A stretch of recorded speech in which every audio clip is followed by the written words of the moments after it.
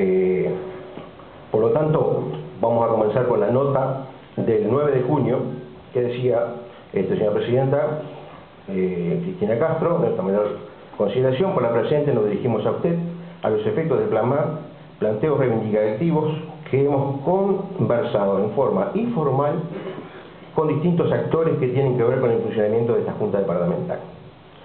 Comenzado este gobierno, se instaló en nuestro organismo una mesa cuatripartita a efectos de ir tratando la problemática de nuestra Junta. En esta comisión se terminó concretando un convenio salarial, donde se fijaron pautas salariales para el quinquenio, reconocimiento de pérdida salarial que se arrastraba desde el mes de abril del año 2002, capacitación y una reestructura administrativa. En cuanto a la pauta salarial establecida, esta se ha cumplido como se acordó.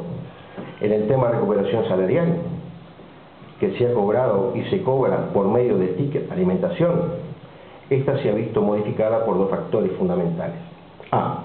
Su reglamentación esta dista mucho de ser equitativa entre todos los funcionarios del cuerpo.